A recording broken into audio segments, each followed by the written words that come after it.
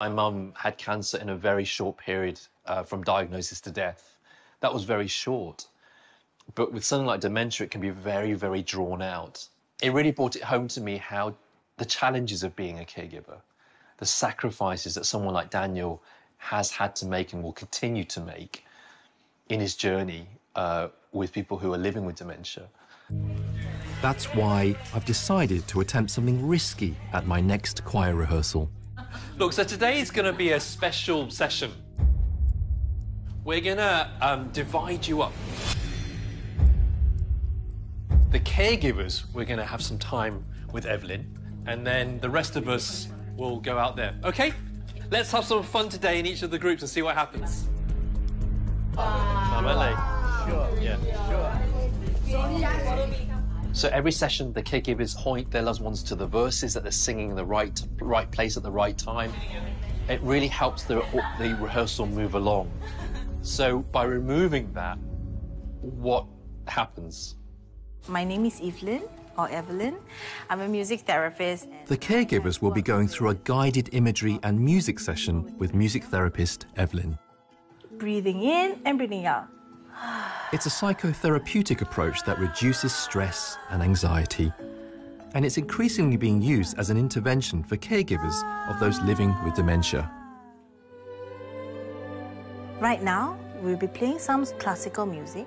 And when you're listening, you may have certain images or flashbacks.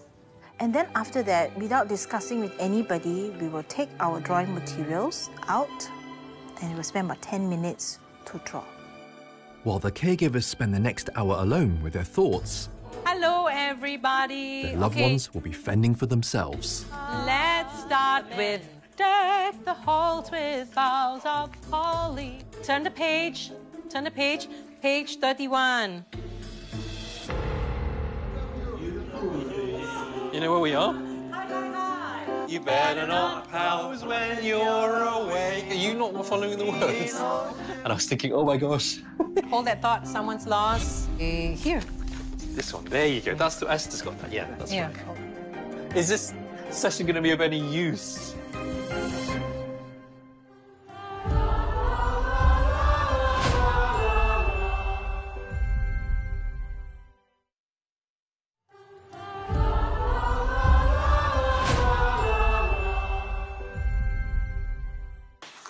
Look, so today is going to be a special session. We're going to um, divide you up.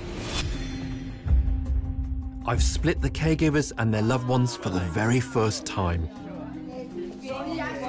And I'm starting to regret my decision. I was sitting beside Jackie at the beginning, making sure she knew where she was in the songbook. Turn the page. Turn the page. Page 31.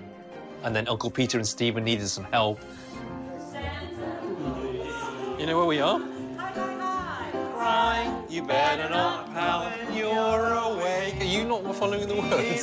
Hold that thought. Someone's lost. Uh, here. This one. There you go. That's the Esther's got that. Yeah, that's yeah. right. Oh, just open this. Should we start from the beginning again? We'll start from the beginning, the verse one, right? Yeah. Take the halls with boughs of holly.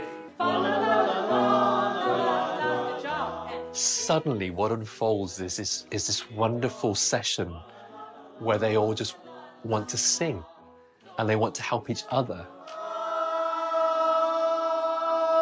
Yay, better. Good job. So everything's going well, and I think, hmm, I wonder how the caregivers are doing.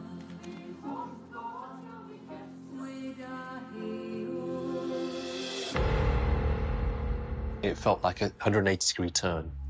When I, I hear the music, it actually gives me a peace of mind this uh, caregiving journey is really very, really very tough. Yeah, no one to talk to, no one will understand the kind of stress that I go through. I have a full-time job. Why do I choose to do a full-time job? It is also because it takes me away from all the repetitive um, all the repetitive um, delusions that my husband has. I think the last three years has been very um, tough on me personally. because I had to look after my mom who had cancer and then my mother in law. And suddenly my husband is infected. And the promises I made uh, to my parents, to my husband, I'll look after them as best as I can. I'm grateful that I still have Peter with me and I'm enjoying every minute that I have with him. I drew some cracks in it. Hopefully, through the cracks, the colors can go in. I like a peaceful life. Live healthy and happily. Thank you. Thank you so much for sharing.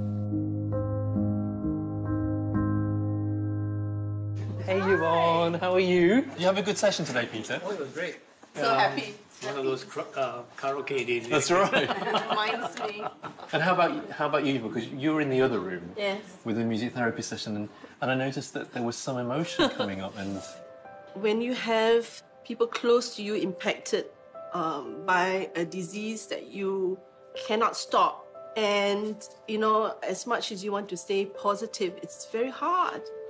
I mean, I don't know uh, uh, how much the disease will, will, would progress. Although I, we say we're doing whatever we can. I mean, we are very prepared. Peter and I has talked about it. But again, you're never prepared for the unknown, right? Ah, okay. No more crying. No more. no more crying.